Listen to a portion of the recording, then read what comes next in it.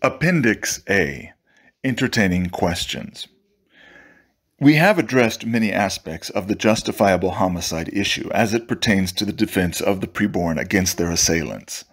The task has led us on a somewhat vagarious path, delving into matters of eschatology, capital punishment, just war theory, revolution, pacifism, textual criticism, biblical hermeneutics, church history, and American case law. We have defended the use of force to protect the preborn from abortionists. Nevertheless, it behooves us to provide a summary of replies to commonly raised questions. Number one, are you advocating the murder of doctors? No, on three counts. First, we are not talking about doctors, but about hired child killers. Second, we are not talking, therefore, about murder, but about homicide. The question, then, is whether the killing of a serial child killer is murder or justifiable homicide. The revised question, and our third point in reply, is Are you advocating the slaying of child killers? No. We are not embarrassed about stopping short of advocating the slaying of government approved child killers. Under the circumstances of public idolatry manifested in government protected abortion clinics, we simply declare that the slaying of even government sanctioned child killers is justifiable. Since public child slaughter is inextricably connected to national apostasy and idolatry, the means of reform are manifold. And the primary task of all Christians is now, as always, the proclamation of the truth, which leads to repentance. We do not know the best strategy to resist the evil of abortion, but we cannot condemn that forceful, even lethal action which is applied for the purpose of saving innocent children. We remain, pardon the expression, pro choice. Number two. Ah, come on now. Isn't defending or declining to condemn something the same as advocating it? Why, no. Consider our pro choice friends.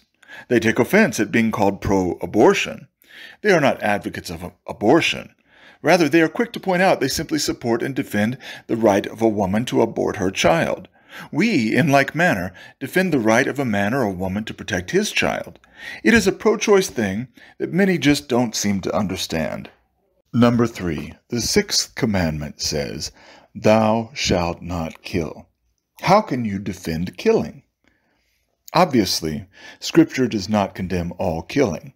It legislates capital punishment, Deuteronomy 19:12, Genesis 9:6, and provides guidelines for warfare, Deuteronomy 20 through 21, and self-defense, Exodus 22:2. Killing is so common, the Hebrews had numerous words to express the act of taking the life of a person. These could be translated variously by slay, slaughter, cut off, pierce, and more. In the King James Version, ten different Hebrew words are all translated by kill. There is no specific Hebrew word reserved for murder. The word found in the commandment, Exodus 20:13 and Deuteronomy 5:17, is used to refer to both lawful, see Numbers 35:27, as well as unlawful killing, murder. It ought to be clear by the general context of Scripture that unlawful killing, or murder, is what is prohibited by the commandment. Nevertheless, etymological clarification does come with the Septuagint, which translates the Hebrew word in the commandment by a Greek word, which is reserved for murder.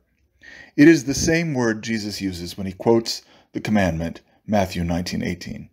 The clarification between kill, which is amoral, and murder, which is immoral, is enhanced by most modern translations which replace kill in the commandment with murder, e.g., today's English version, NEB, NIV, and New American Standard Version. Those who use lethal force to stop a murderer are not themselves committing murder. They kill, or terminate, or slay, or neutralize. They do not murder. Number four, how can an individual take the law into his own hands and punish another person? That is God's right, not ours. The individual, in defending himself or another innocent person, is authorized by God to exercise lethal defensive force. Exodus 22 2. A distinction must be made between the use of defensive force and retributive force, which is reserved for God and those to whom he delegates it. Romans 13, Deuteronomy 19:12. Number 5. Resorting to the use of force signifies hatred, impatience, frustration, and a lack of trust in God.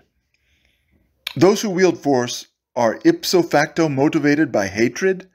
We find ourselves awestruck. What about Matt Dillon? How about Superman? Your local policeman? General Powell? Aren't these users of force good guys? We ought to restrain from judging our brothers or anyone else's motives outside the context of a God based judicial process.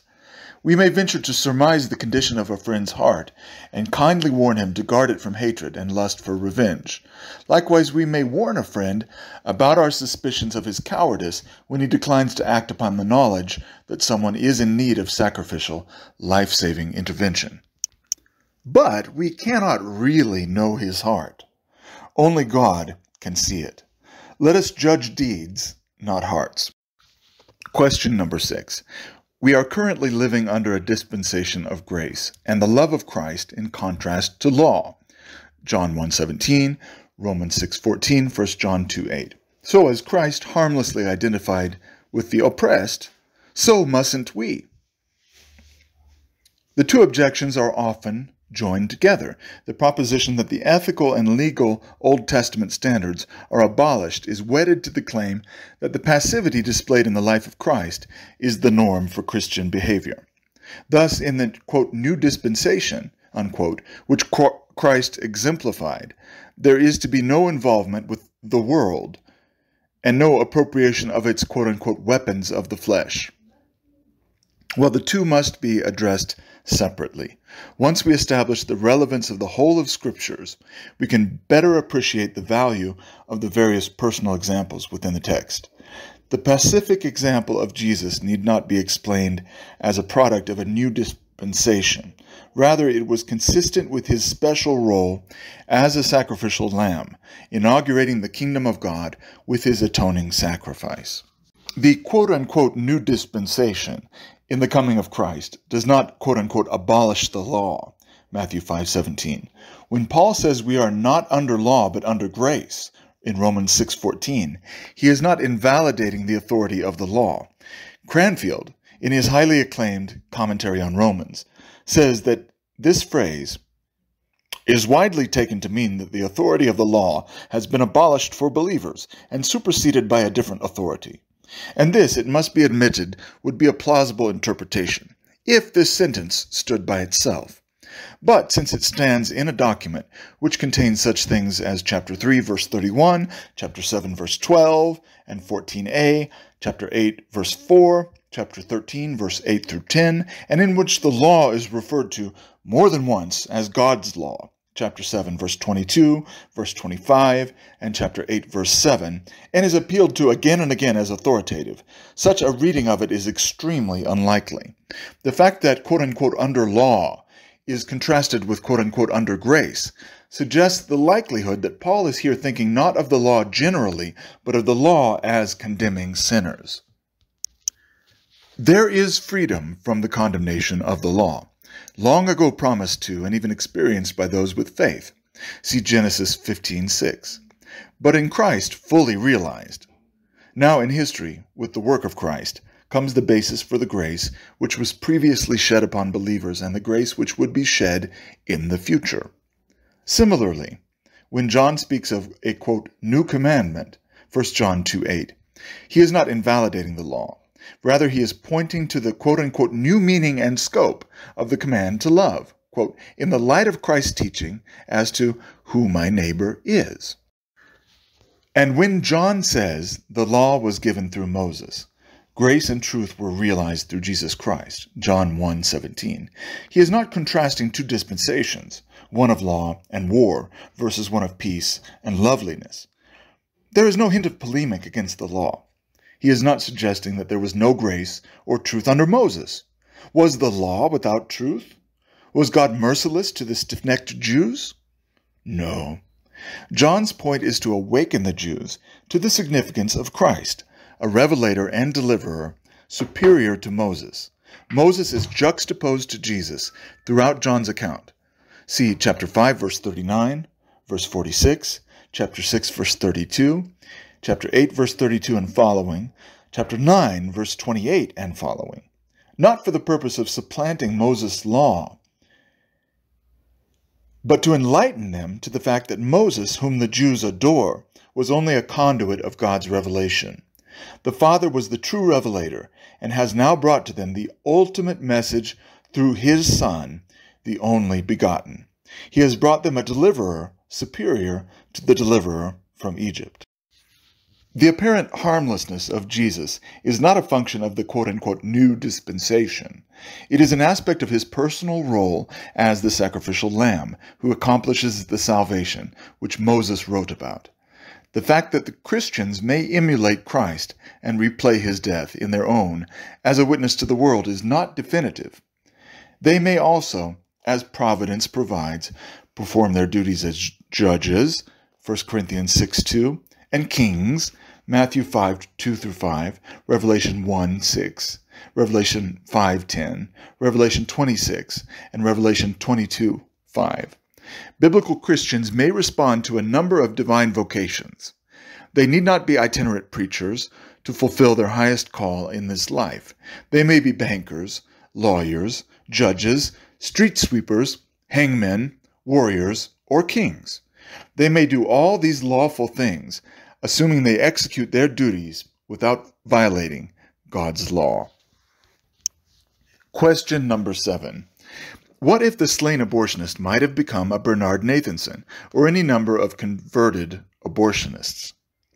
The same question could be asked about any one of myriad children who have been wasted. If we must choose between two potentials, what shall it be? The guilty assailant or the innocent victim? The loss of human potential is always a sad fact to contemplate, but the loss issue cuts both ways. What if the abortionist you have decided to spare was about to kill the baby who would have discovered a cure for AIDS? A complicated ethical question for our homosexual countrymen of pro abortion persuasion. Question number eight. Why didn't Jesus use force to prevent the murder of his own cousin, John the Baptist? Why did Jesus forbid his apostles from going into the lands of Gentiles and Samaritans to preach the soul saving gospel? Matthew 10:5. Why didn't our great example in life take a wife? Jesus set up no hospitals, he set up no schools, he didn't set up any Bible and tract societies, he didn't even set up a church and gain tax exempt status. He came not to do all things that are right and good. He came with specific assignments, most importantly, to perform signs and wonders, to fulfill Scripture, to preach, and to bear the sins of the world and be crucified. We don't have exactly the same job description that he had.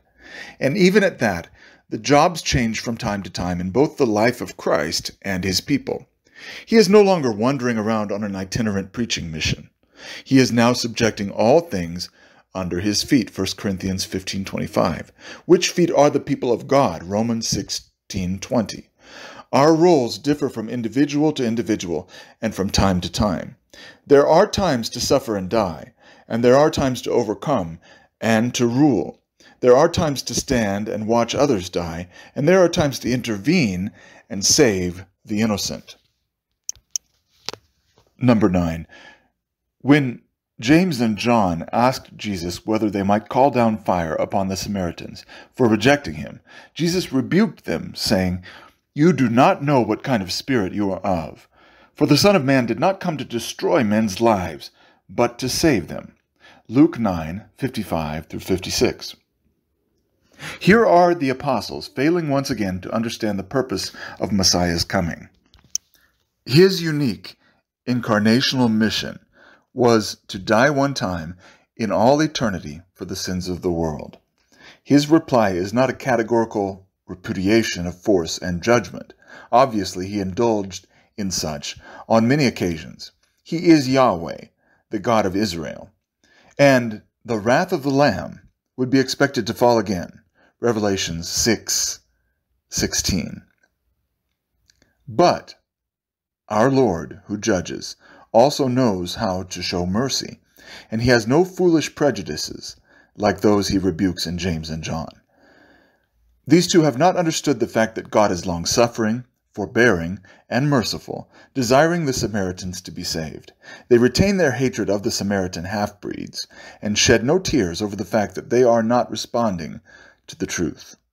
Number 10. The force used by Mr. Griffin, who shot the abortionist in the back, was excessive. His action was not wrong because it was forceful, but because it exceeded a more moderate and appropriate amount. These kinds of evaluations were voiced soon after the Griffin event in March of 1993, but were nowhere to be heard after the Shannon event several months thereafter. It seemed as if the almighty sense of humor had providentially orchestrated the irony which came at her hands. Mrs. Shannon used a lesser amount of force, or at least did not wield it lethally, as she shot abortionist Tiller in both arms. But Tiller's triumphal return to quote unquote work the very next day seemed to muzzle proponents of the limited force ideal. Their objections were exposed as sophistry, designed to relieve them from the discomfort of affirming Griffin's deed without qualification. Number 11. If you defend the shooting of abortionists, why not the guilty mothers as well? And what about the abortuary owners and other employees? We could continue the list. How about manufacturers of abortifacients, advocates of abortion, police protectors of abortionists, even false teachers? And idolaters. Certainly, all the lawless and godless shall answer for their crimes. However, it is not the job of Christians to cleanse the land of them. It is the duty of governments, all of which are ordained by and accountable to the triune God, to punish evildoers. But it is the duty of Christian citizens to defend the lives of their innocent neighbors when they are under attack and in danger of imminent death. Those involved with the propagation of abortion rights and all the processes leaded, leading up to the commission of the same are distinguished from the one who does the deed.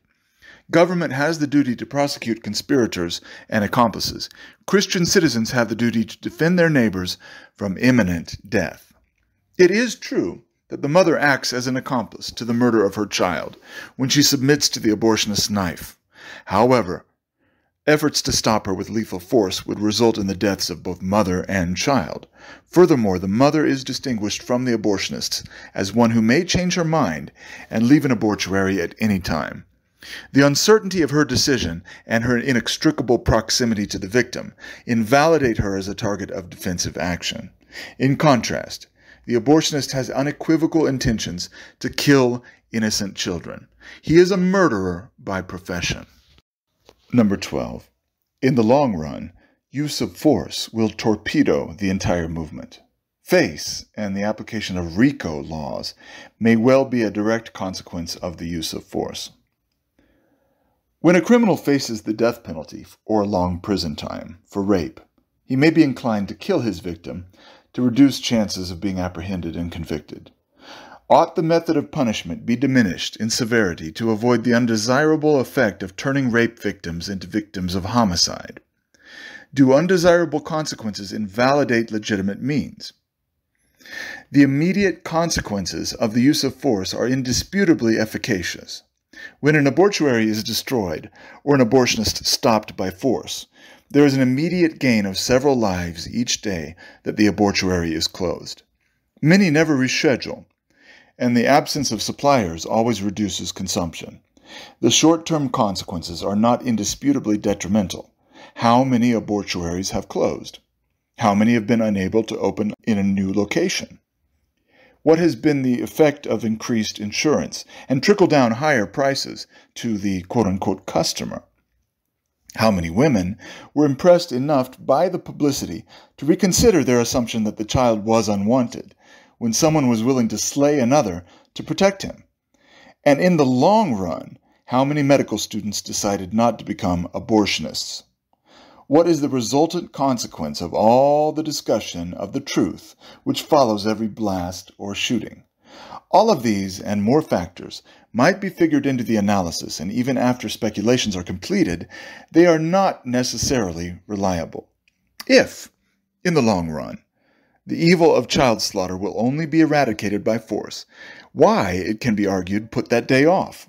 It will certainly come to pass quicker if it begins sooner. But these are vain speculations. We have no reason from historical precedent to believe that the pursuit of non forceful means of saving children from death will be more successful in the long run. And it most certainly cannot be held as superior in the short run. The fact that governments have recently been toppled India, Poland, Philippines, Hungary through principles of restraint and nonviolence is not the issue. Better and worse governments have come to power by both forceful and non forceful means. Certainly, change in power to the good with the least amount of human suffering is preferable. And if we want to replace the present government with a new one, we can consider such issues as the saving of babies versus the saving of citizens through the avoidance of war and the advantages of a nonviolent transfer of power. But we are not even speaking about toppling governments.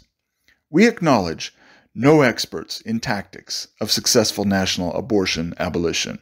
There are none yet. We respect all efforts to stop abortions of today, tomorrow, and permanently through legislation. We do not discount the power of rhetoric or non forceful intervention. Neither can we deny the propriety of forceful intervention for the purpose of stopping the killing of a child in immediate danger of death.